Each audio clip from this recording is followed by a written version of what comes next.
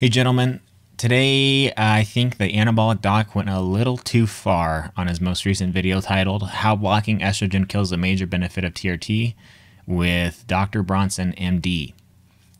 Um, there are a lot of things in this video I disagree with, and I think it's kind of stupid and goes against common sense. Uh, so let's just dive right in. Um, they're going to talk about how blocking estrogen kills. It says a major benefit, but the guest that he has on, Dr. Bronson, is going to list numerous reasons why blocking estrogen is bad. And uh, I think it's a bit more nuanced than that. But let's go ahead and take a listen. Leave estrogen alone. The benefits of estrogen for men that are on testosterone this is an interview with a freshly minted testosteronologist, Christopher Bronson, MD. Doctor, let's get right into it. So, when you're on testosterone therapy, a lot of people just know that your estrogen levels will go up whenever you give yourself testosterone. And a lot of people have the misconception that your estrogen levels going up is bad. They think it gives you mood lability or instability. They think it makes you more emotional. They think it gives you gynecomastia, which it does. Okay, so he's saying that people have this misconception that high estrogen is bad and that it can make you more labile and you make you a little moody and it can give you gynecomastia. And they said, well, which it can or which it does. So he's admitting that high estrogen can cause gynecomastia, which is or a problem in its own right. Um, but I don't like the derogatory tone he's taking towards individuals who believe that high estrogen can cause side effects because there are two groups of people and, and people in between. There's one group who can tolerate any amount of estradiol to the moon and back, no problem, and they have no side effects. And then there's the other group at the extreme who can only tolerate a little bit of ele- elevated estradiol. They're very sensitive to high estradiol side effects or high estrogen side effects. And then there's people all the way in between um, where they're going to have a certain level of estradiol where they're going to start noticing side effects like moodiness, gynecomastia, sleeplessness, insomnia. Um, this is where the roid rage misconception comes from because you can have a, a, shorter temper with some people. So his derogatory tone towards people who think who are like paranoid, you know, he's kind of acting like they're paranoid about high estrogen. His derogatory tone, I think, is unfounded based on the fact millions of people on testosterone replacement who have experienced high estrogenic side effects and needed to manage the protocol in order to reduce those side effects and feel well. Um, they think, in other words, they think it's all bad for men to have high estrogen levels.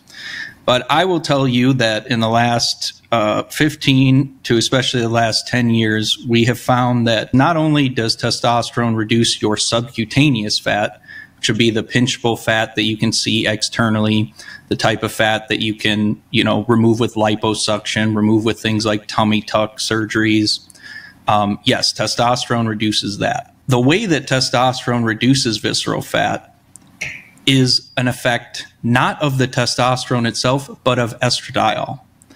Estradiol is when your estradiol levels get higher, estradiol inhibits something called lipogenesis inside visceral fat stores.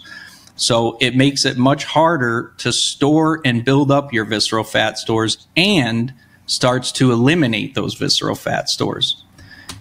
Okay, so rightfully so, he's making this claim that estradiol or estrogen can help uh, metabolize visceral fat. Here's the thing though, you can keep your test your testosterone in a healthy range and you can keep your estradiol in a healthy range. You don't need to have your estradiol at 90 picograms per milliliter and have, feel like shit and not be sleeping and be moody and all these side effects so that you can burn your visceral fat. You can manage your estrogen properly either through managing your protocol with lowering your dosage and increasing injection frequency, or using an aromatase inhibitor to uh, manage your estradiol so that it's in a normal range. And uh, you can still burn visceral fat because your estradiol is in a healthy range. Not only this, but you can burn visceral, visceral fat by diet and exercise. So we don't need to just sit on the couch and let, you know, extremely ele- elevated levels of estradiol help us burn our visceral fat because that's not going to do the trick. If you sit on the couch all day eating fucking potato chips and getting your Cheeto dust fingers on, you're going to build up visceral fat even if your estrogen's fucking 100 picograms per milliliter. So, what's more important to burning visceral fat? Est- high estrogen or exercise and diet? It's exercise and diet every fucking time. So, by taking aromatase inhibitors, one of the key problems that you get is you do not reduce your visceral fat mass as much as you would by just leaving your estradiol levels wow. alone. Again, I want to say here that you can keep your estradiol levels in a healthy range even while using an aromatase inhibitor, as so long as you don't push your estradiol too low. And you can use again diet and exercise as a means of reducing visceral fat over just sitting on the fucking couch, eating ice cream out of a tub, and uh, not taking your aromatase inhibitor and letting your estrogen soar and having side effects so you can't sleep and things like that. Um, so diet and exercise again is going to show to be number one for eliminating visceral fat over elevated estrogen. So managing your estrogen with a an aromatase inhibitor um, is yes, it has it can have deleterious effects on your cholesterol, which is bad for the heart. So it's something that I would use as a last resort. So I'd always always recommend to adjust your protocol by lowering the dosage or increasing the injection frequency before using an AI. But using an AI is reasonable if you're having side effects and you can't eliminate them via other means. And you, you can use a, aromatase inhibitor like anastrozole at a, at a low dose, and you keep your estradiol in a healthy range, and you exercise and diet and stay healthy, and you're going to have perfectly healthy organs with no visceral fat. Again, diet and exercise bur- burns visceral fat much more than uh, sitting on your ass. You're sitting your ass on the couch and letting your estrogen just soar to the moon. Estradiol, uh, in addition to that, also has um, beneficial effects on sexual function, right? So we have all kinds of studies and, and just even clinical experience treating men with testosterone who go on AIs. Oftentimes, they'll go on an AI, they'll get erectile dysfunction. Uh, this is not the case anecdotally. Um, actually, it's another one of those things where it's not one or zero. It's it's somewhere in the middle, right? So if your estrogen gets too high and you're and you're a normal individual who's somewhere in the within the normal distribution of, of sensitivity to estrogenic side effects, if your estrogen gets too high, your sexual function is going to decrease. You're going to not not be able to get as hard. Um, you're going to have decreased penile sensitivity.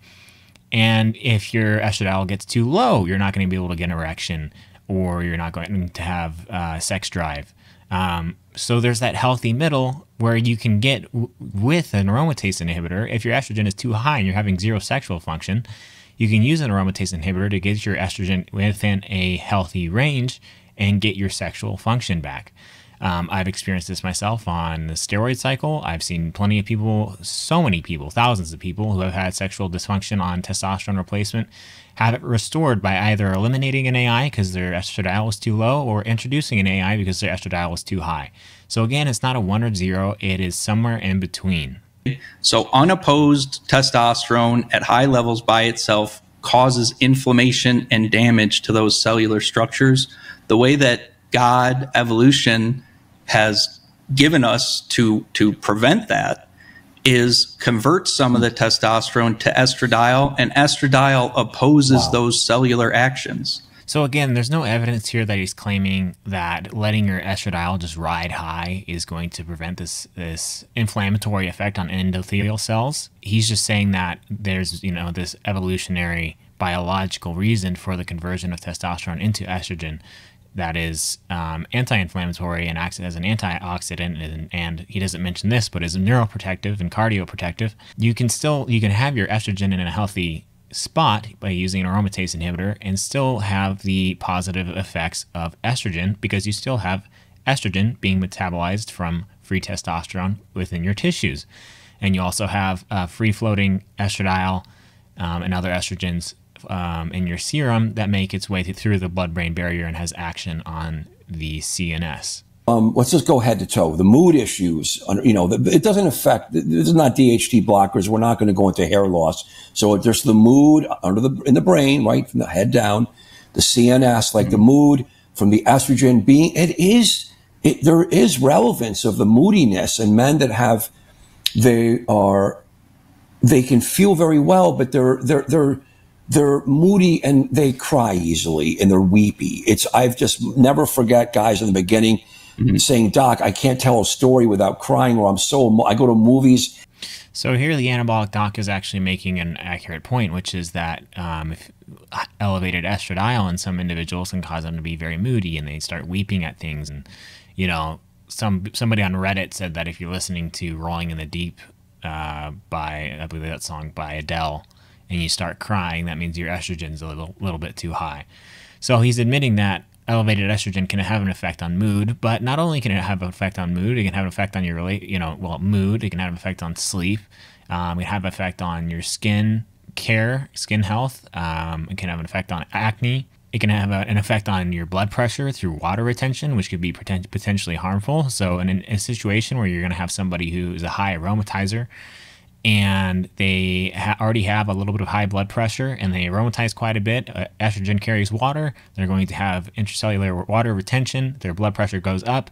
They're going to have a, a hypertension crisis. Um, it would be better to have this person put on an aromatase inhibitor to have that water weight shed and have their blood pressure go down than to just maintain the water retention and the other side effects and put them on a stronger and stronger blood pressure medication.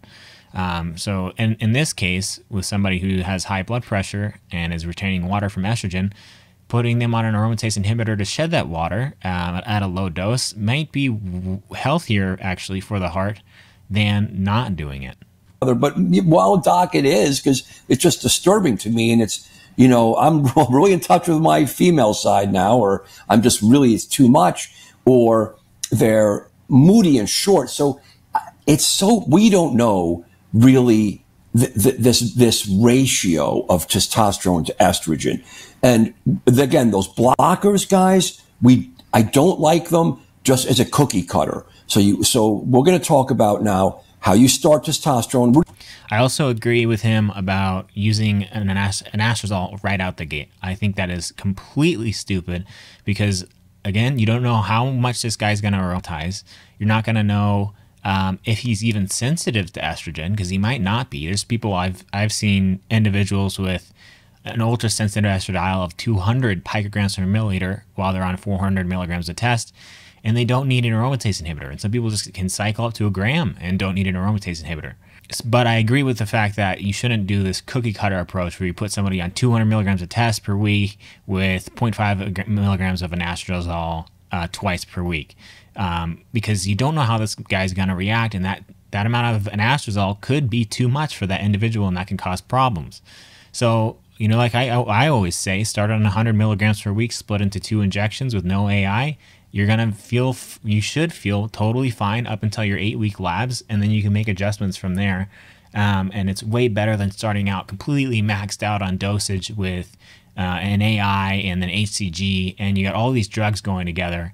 Um, and it makes it way more difficult to get dialed in, and it can cause problems right out of the gate. And that can be problematic for somebody who wants to be on testosterone because that can make them scared to get on testosterone again, again, if, even if they need it, if they've had a bad experience.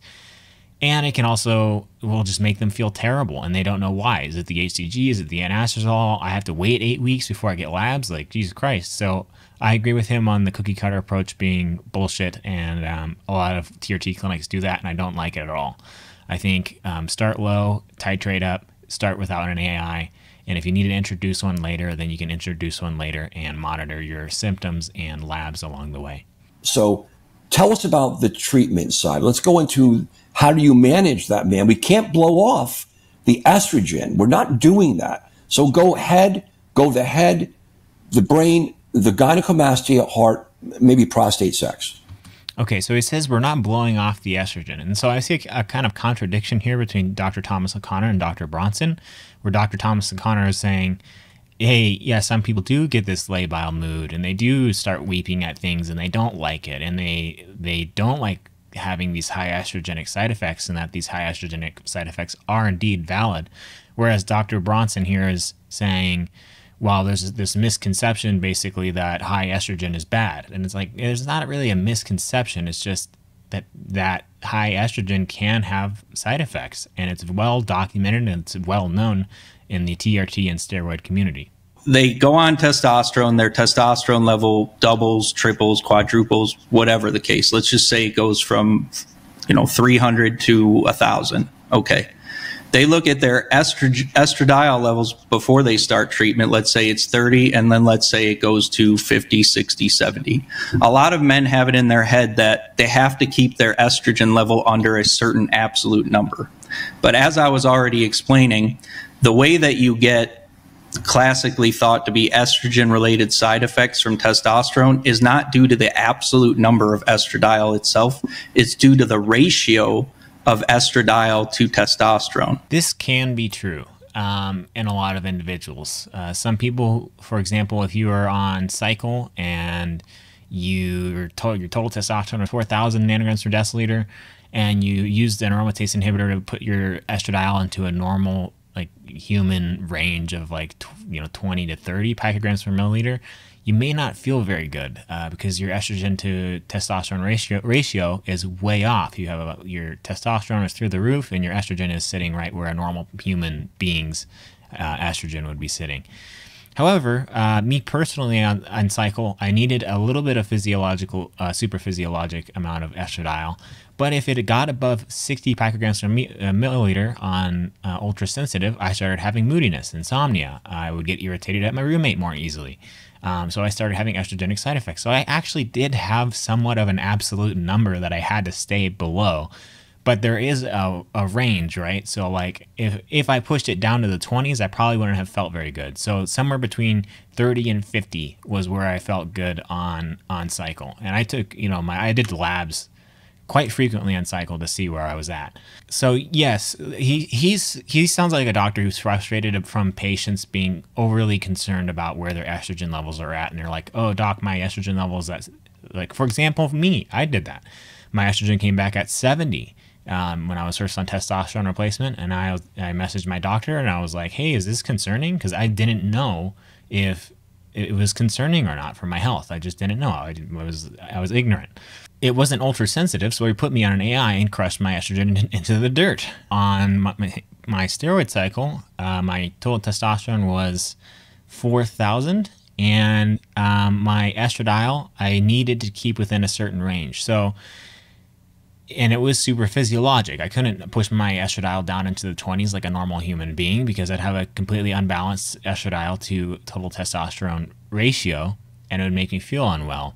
Um, however, if my estradiol got literally, if it got above a certain number, if it got above 60 on an ultra sensitive assay, uh, I would have side effects sleeplessness, irritability, moodiness, these sorts of things. So I had a specific range that I had to be within, somewhere between 40 and 60, where I felt the best on on cycle. So it's kind of the same way on testosterone replacement, where individuals will feel best. You know, some people will feel best between um, 20 and 40 or if you know 40 and 60 it, it, depends where their testosterone is at it depends where how they're feeling um, and their estradiol on paper and so you got to take all these things into account when you're managing somebody's somebody's protocol and especially taking into account the individual's symptoms. So, yes, uh, you don't have to stay below a certain level of estrogen. There's not a specific number of, you know, this many picograms per milliliter of estradiol is bad, so you got to stay below 60. But there is a, a certain range that people generally feel best at, and that is, again, man per man, person to person if you get side effects like gynecomastia, that is due to an elevated estrogen to testosterone ratio. At least that's the, as far as we can determine, that's what causes it. It's not due to your estradiol level, strictly speaking, going from 20 to 40 or whatever it is. It's due to how much estrogen you and have man relative per man. to testosterone. So you heard Dr. Thomas O'Connor blurt out there, and it's man per man, which is exactly how it is. There are some individuals who have this kind of proper testosterone to estrogen ratio that kind of go, go together, they glide together, and that's where they feel the best. And uh, there are some individuals where literally there will be a certain amount of estradiol circuit, uh, that's being metabolized from testosterone and tissues that will cause gynecomastia. So Sometimes it is the ratio of estradiol to total testosterone, and sometimes it literally is, you know, their estradiol just got too high, regardless of what their testosterone is, and regardless of what their estrogen to testosterone ratio is, their estradiol just got too high and they started developing gynecomastia. And ironically, um, you develop gynecomastia, you can prevent that by using an aromatase inhibitor. You can also use a SERM like raloxifene, but you're not going to be on a SERM for long term for gynecomastia prevention on testosterone replacement.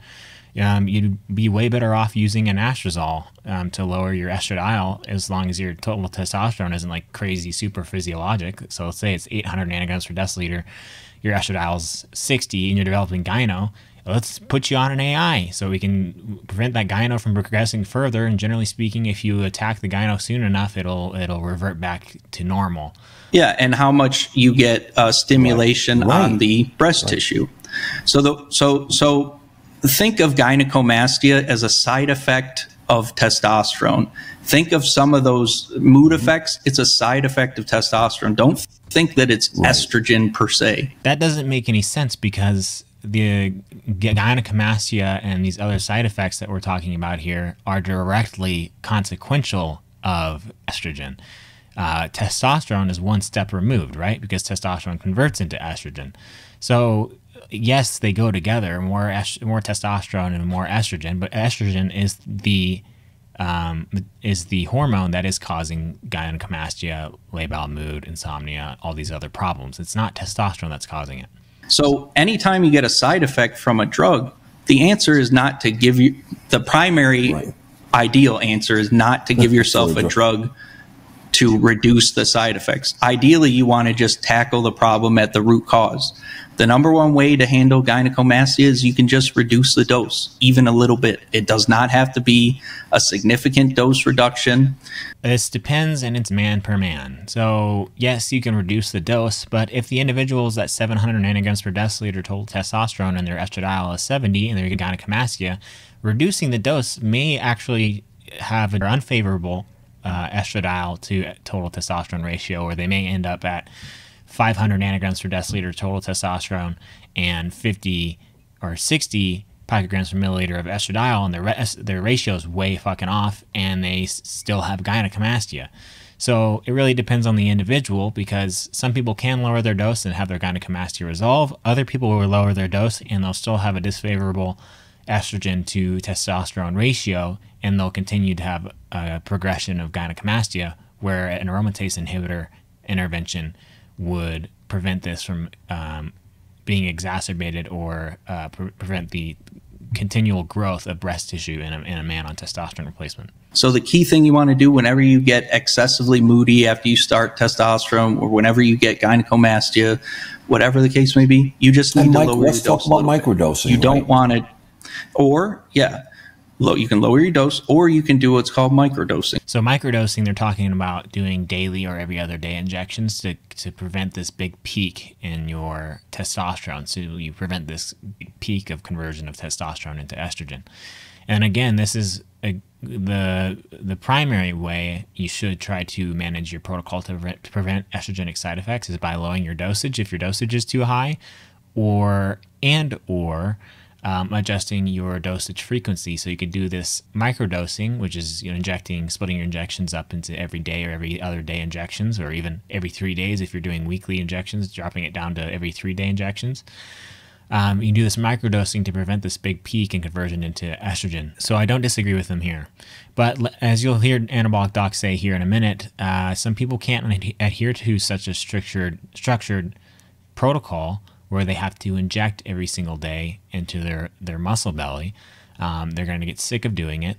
And if they start injecting less frequently, they may have a higher conversion of testosterone into estrogen, and they're going to run into the same problems that they had before, where they have high estrogenic side effects. And lowering the dosage doesn't prevent this from uh, prevent the side effects from occurring.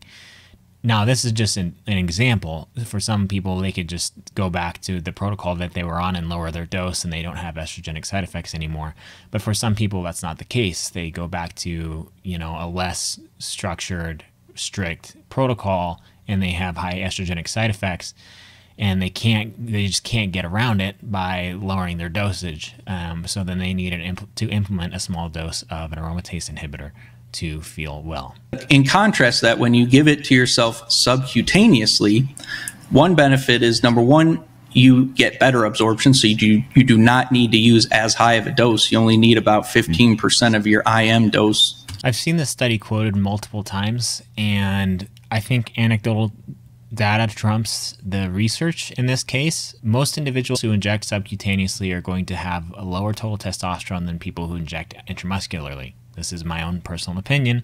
It goes against this paper that he's referencing and that I've seen referenced many times. The reason I believe this to be true is not only because I've never seen somebody go from sub Q to, or I, I am to sub Q intramuscular to subcutaneous and have their testosterone rise. It's also because of the, the pharmacokinetics of injecting subcutaneously. When you inject an oily based substance like testosterone into an oily environment like fatty lipid tissue, it's going to mix and have a slower absorption rate than if you were to inject that oil into a watery environment like muscle, where it will be more quickly swept up into the bloodstream.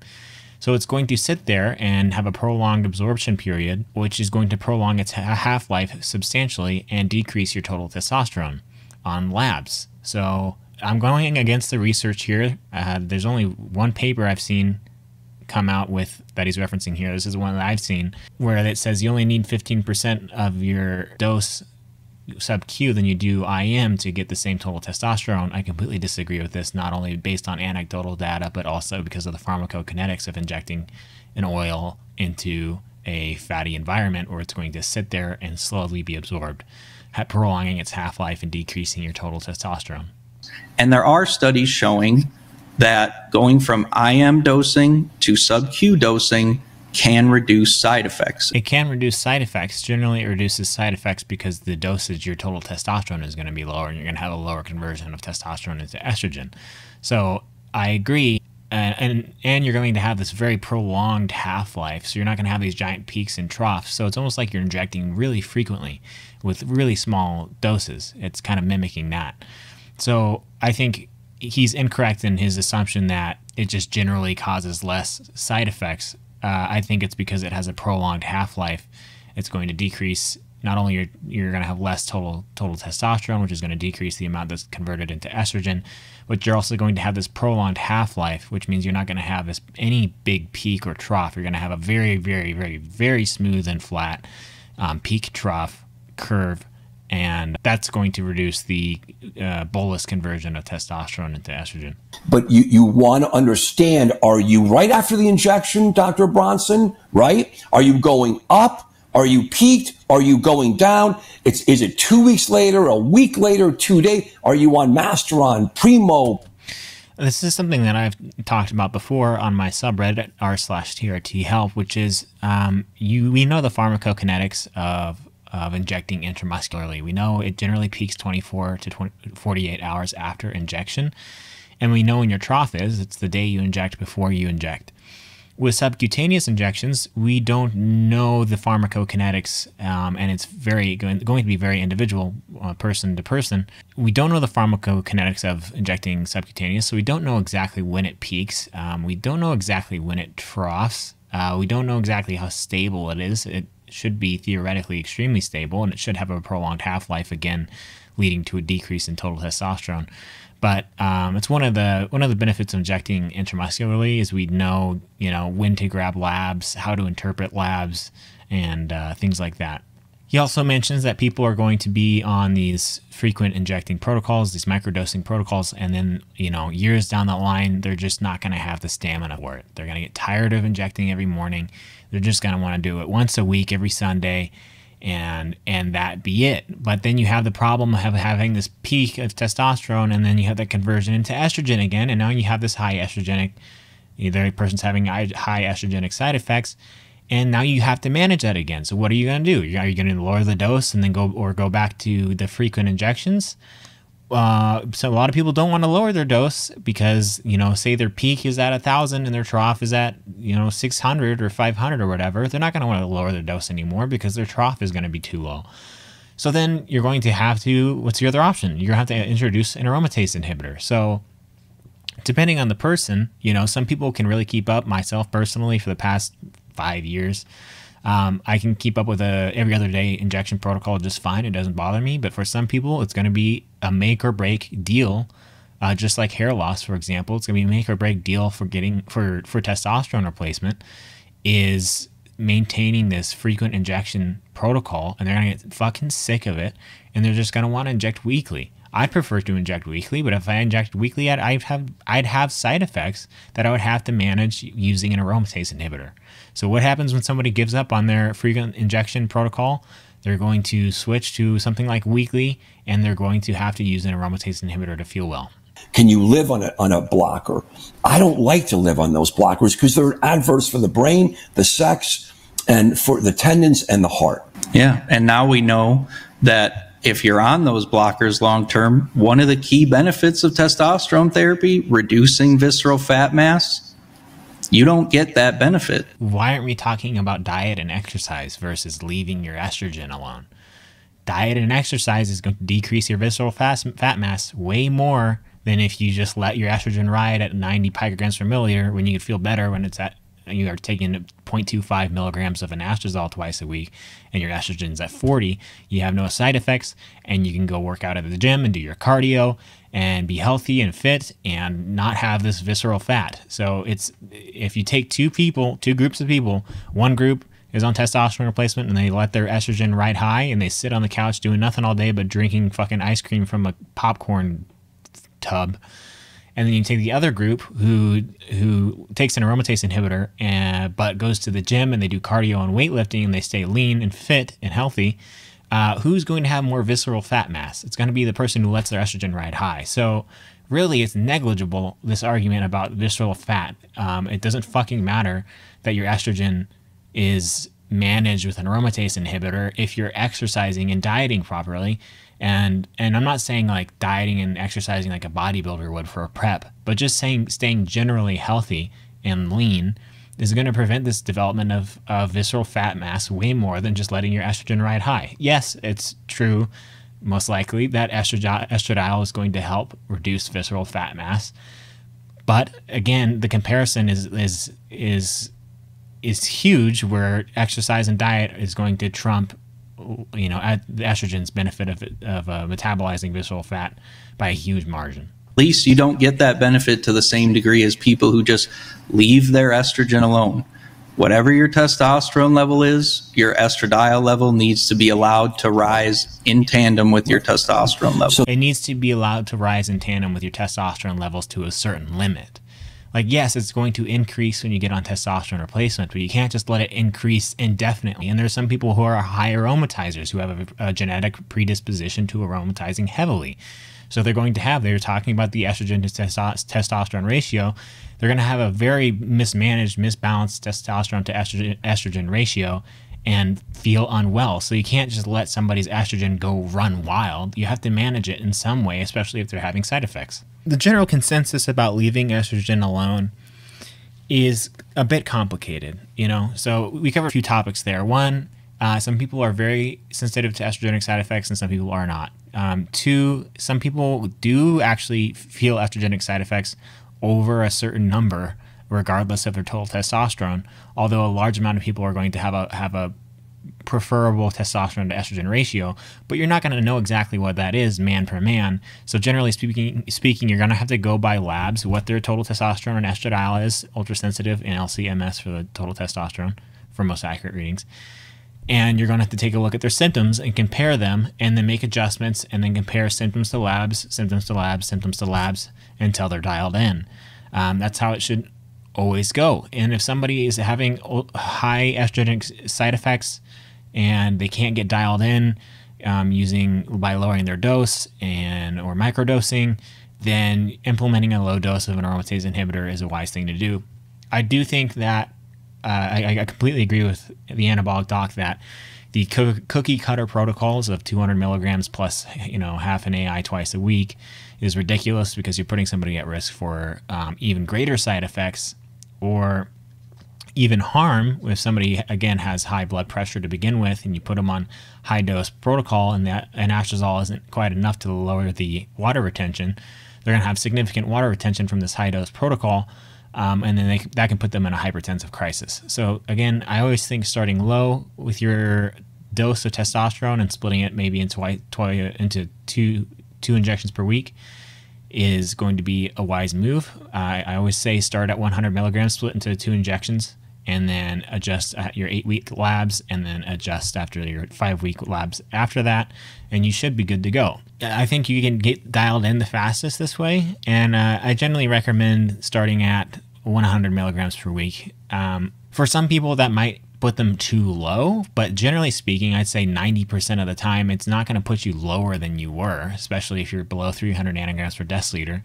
Um, 100 milligrams twice split into two injections is not going to put you lower than you were. So um, you're going to be better off anyway. You're going to be 100 points, 200 points higher, and then at your labs you can adjust. You can increase your injection frequency or something if you want to and then raise your dose by 20 milligrams and then get labs again and then make one more adjustment and then you're pretty much there. I've made a video on how to get dialed in on TRT lightning fast and I'll link that up in the corner. But um, yeah, those are my opinions on this video on how blocking estrogen kills a major benefit of TRT. Again, that visceral fat argument I think is really fucking stupid because it doesn't even compare to exercise and diet. Uh, it doesn't shine a light to exercise and diet as far as controlling weight gain fat gain, both subcutaneous fat and visceral fat. Anyway, those are my thoughts on this video. I think he went a little bit too far, um, especially his guests. I think Dr. Thomas O'Connor was kind of trying to be like, hey, it's man per man, but he was letting these guests do most, most of the talking. And um, I think his guest was wrong in a lot of uh, areas here uh, with Dr. Bronson. So anyway, that's my opinion on the video. Let me know what you guys think about uh, letting your estrogen ride high or using an aromatase inhibitor or managing your protocol so that you don't have estrogen- estrogenic side effects, what you've done to manage that. Okay, appreciate y'all. Talk to you later. Bye.